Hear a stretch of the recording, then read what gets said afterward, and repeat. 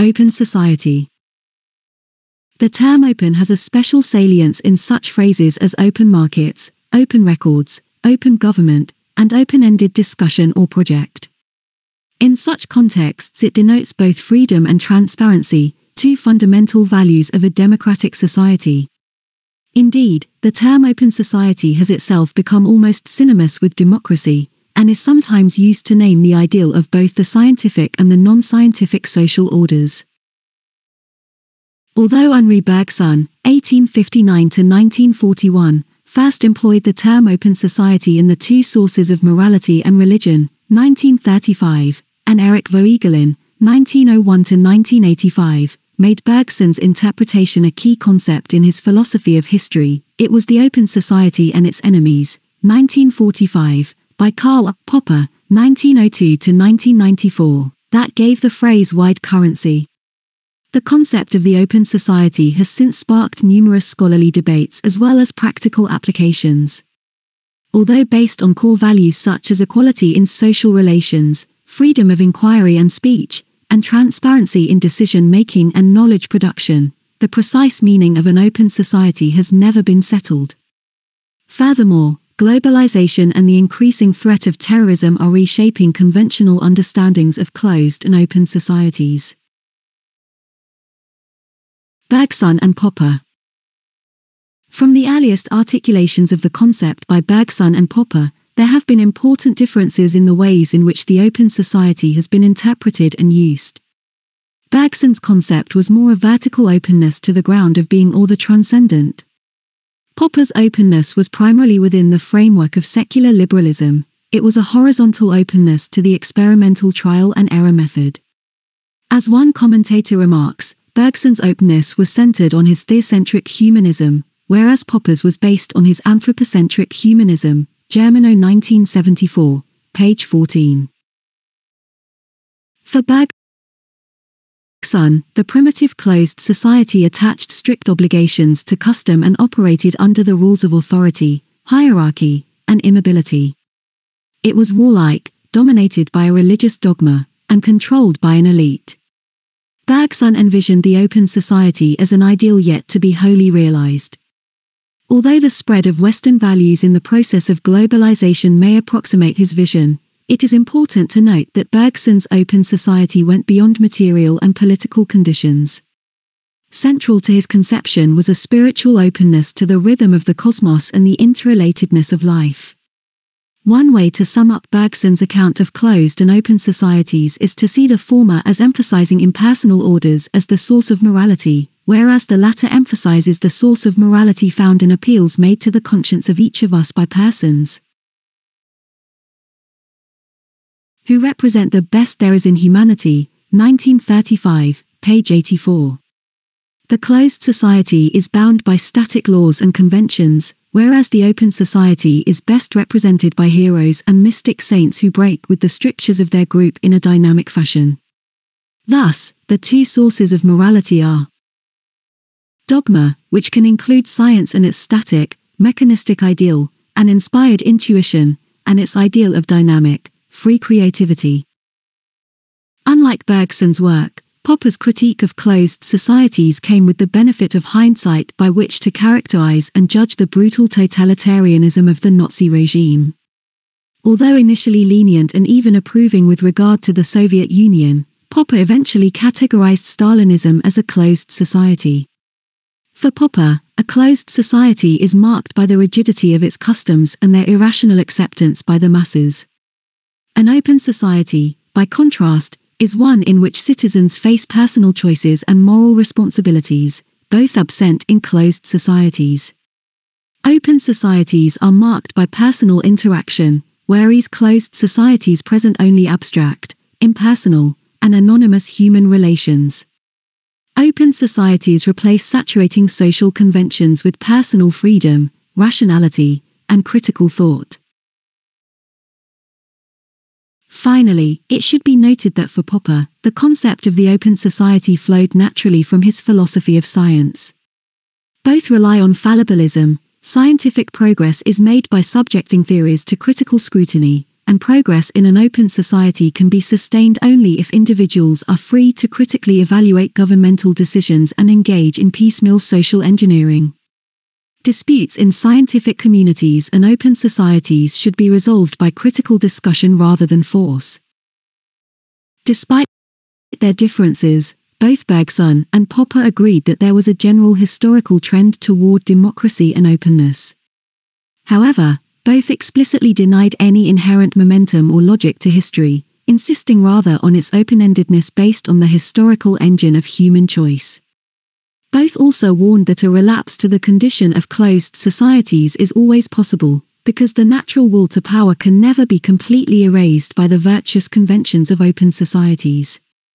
In fact, their very openness and tolerance ensure that these societies will remain vulnerable to such a relapse. A rational, Popper, or enlightened, Bergson, citizenry can always be duped by a strong-willed leader or clan. Open society debated. Popper did not associate his concept of open society with any particular political or economic philosophy. His refusal to define the concept in this manner has fueled critical and theoretical debates. Dante Germino and Klaus von Beyme collected a wide-ranging series of essays on the open society in theory and practice, 1974, that touches on its implications for work, education, politics, religion, and other fields of human experience. The book exposes the plurality of viewpoints and contested meanings of the open society. Many papers raise doubts about the ability of modern industrial or post-industrial society with its emphasis on technological rationality, to foster openness. Some in this camp call for radical departures from prevailing assumptions about humans and nature. Others argue that it is precisely and only within the modern, secular world of Western liberalism that values of openness can prevail. This debate signals the durability of the original fissure underlying the Bergsonian and the Popperian uses of the term. The former critics call for a new consciousness focused on deep experiences, which have been marginalized by the scientific and secular worldview. The latter insist that reason and, properly demarcated, science are essential for the flourishing of open societies. In Popper's Open Society After 50 Years, The Continuing Relevance of Karl Popper, 1999, Ian Jarvie and Sandra Pralong collect 15 essays that introduce Popper, including an interview with Popper on his 92nd birthday, critique the central ideas of the open society, and apply those ideas to later social, political, and philosophical concerns.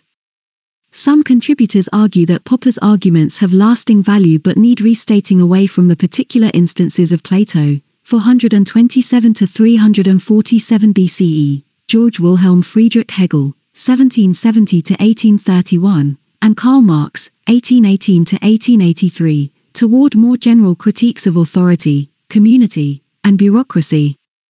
Others criticize Popper for practicing the very historicism he attacked.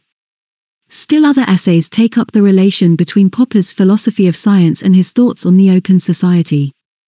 The work concludes with several reflections on the implications of Popper's work, especially for Eastern European countries. In The Governance of Science, Ideology and the Future of the Open Society, 2000, Steve Fuller argues that the increasing scale of the scientific enterprise has eroded the ideal of science as an open society.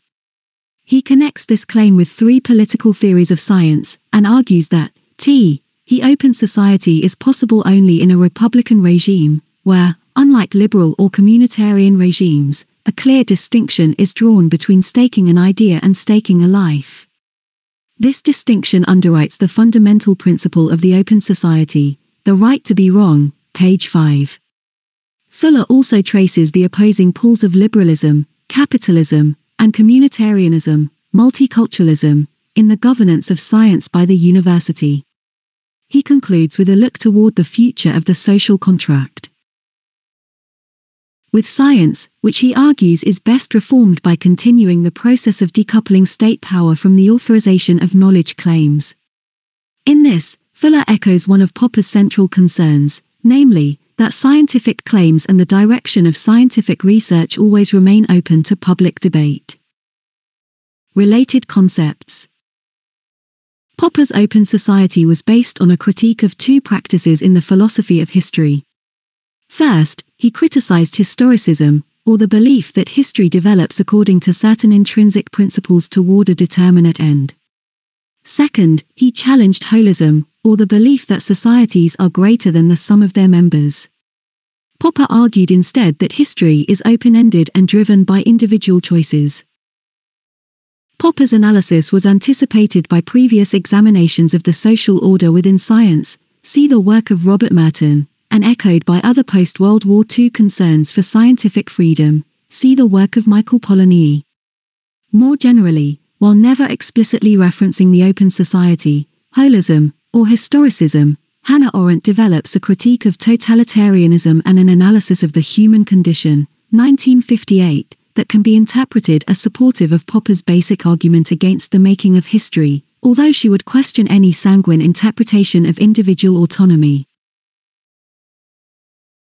A much more radical promotion of open society principles is found in the work of Popper's student, Paul Feyerabend, and his arguments for epistemological anarchism. For Feyerabend, Popper is too limited in the application of his openness ideal, and in Science in a Free Society, 1978, argues that the movement that once led to the separation of church and state should now bring about a separating of science and state. Science should be disestablished as the rational norm in advanced technological societies. Society should not just be free for science but freed from science, that is, open to more than science. In The Closing of the American Mind, 1987, Allan David Bloom distinguishes between two types of openness in modern Western societies.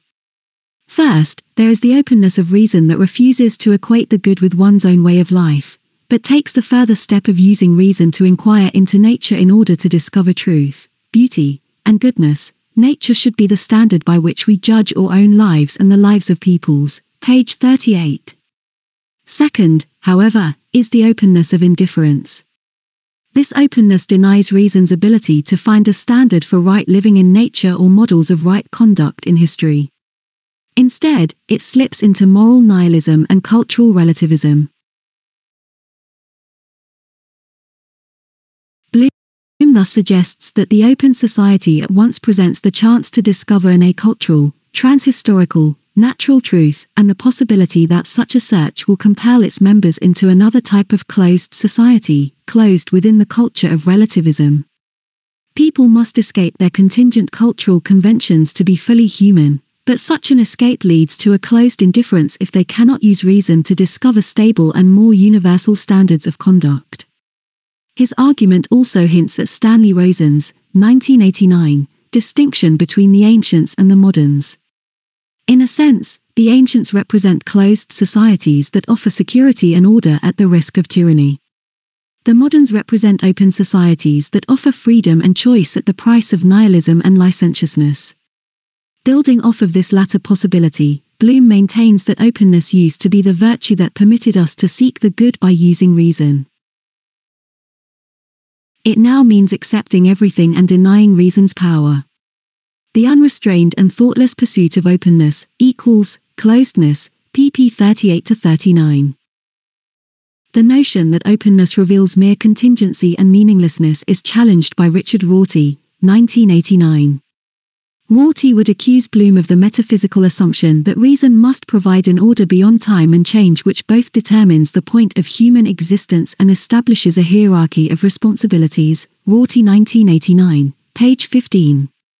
Rorty's utopia is one of liberal ironists, liberal in that they aspire to personal excellence and social justice, ironical because they recognize such goods are not guaranteed by a stable ontological order. For Rorty openness is retained by means of nominalist cultural narratives that construct compassion rather than by the seeking of moral formulas for action based on theory. Open Society Applied In the construction of such narratives, perhaps the Open Society Institute, OSI, is the largest concrete application of Popper's notion. The philanthropic activist George Soros founded OSI in 1993 as a way to synthesize initiatives that began in Central and Eastern Europe as early as 1984 to encourage the transition to democracy. Since then, the Soros network has expanded to include initiatives throughout the world, including the United States, to promote open societies through legal, governmental, and economic reform. It also supports education, media, public health, and human rights initiatives. The OSI seeks to diminish and prevent the negative consequences of globalization. In this sense, it recognizes the threats posed to open societies by global capitalism in addition to those posed by more traditional forms of authoritarian rule. Other concrete, if perhaps unconscious, manifestions of Popper's notion are found in the open source and free software movements, and in the promotion of open access in scientific publishing. The claim that the source code for programs should be open to all users, thus enabling them to identify weaknesses in the code and correct them, as is the case with the software that makes possible the World Wide Web on the Internet, a program that Tim Berners-Lee, its designer, explicitly declined to patent, exemplifies Popperian principles. The argument that basic software utilities should be freely available rather than controlled by a quasi-monopoly such as Microsoft is a natural extension of these principles. Finally, the promotion of open access scientific publication, that is, publication that allows all users a free, worldwide right of access to read, copy, and distribute the results of scientific research, constitutes a further effort to institutionalize practices in harmony with open society ideals. Globalization and terrorism. The globalizing reach of modern science, technology, and production forces as well as Western values and political associations can be interpreted as the intrusion of the open society on traditional or more closed cultures. Ethics is not as easily globalized as science and technology. Although a simplification, something similar is true with regard to the economic globalization of markets versus the political globalization of democracy. Modernizing forces do not produce any uniform transition from closed to open societies, which is a mixed blessing for all involved. Diverse movements from wars of independence to environmental and human rights activism have tried to respond to the dislocations that can result from this selective globalization. But perhaps the most serious backlash against modernization and globalization, and the one that best illustrates the contemporary relationship between closed and open societies, is terrorism. Though an ancient tactic, terrorism, especially those attacks carried out by extremists who justify their actions by appeal to Islamic ideologies, has taken on heightened global importance since the attacks against the United States on September 11, 2001. The potential to utilize the machines and weaponry of modern technoscience has increased the threat posed by terrorists to the citizens of open societies. Just as important, however, is the vulnerability to terrorist attacks created by the very ideals of an open society. Personal and civil liberties, tolerance, and multiculturalism all inhibit the leadership of open societies in their efforts to thwart terrorist plots. Terrorists are also able to capitalize on the freedom of information presented by the Internet. Thus, relatively loose networks of people bounded by a set of beliefs can organize and commit complex, integrated attacks due in large measure to modern telecommunication technologies. This form of closed society retains the dogmatic, hierarchical, and ideological characteristics criticized by Bergson and Popper, even though it now lacks the geographical and political organizing structures and avails itself of open streams of information. The controversy over the Patriot Act signed by President George W. Bush in 2001 to deter and punish terrorist acts in the United States and around the world demonstrates the tension that terrorism presents between closed and open societies. It is an open question whether an effective war against terrorism requires the curtailment of certain civil liberties in order to more effectively control and monitor suspects. If so, however, at a certain point, such tactics may jeopardize the very ideals of the open society that they aim to defend. Shortly after the September 11 attacks, Atef Abeid, the Egyptian prime minister, criticized human rights groups for defending the human rights of potential terrorists. You can give them all the human rights they deserve until they kill you, he said. After these horrible crimes committed in New York and Virginia, maybe Western countries should begin to think of Egypt's own fight against terror as their new model. Remnick 2004, pp 75 76. In the war against terror, the leadership of Egypt maintains that all pretenses to an open society must be discarded, thus suggesting that democratic states run the danger of winning one war by losing another. Adam Briggle Carl Mitcham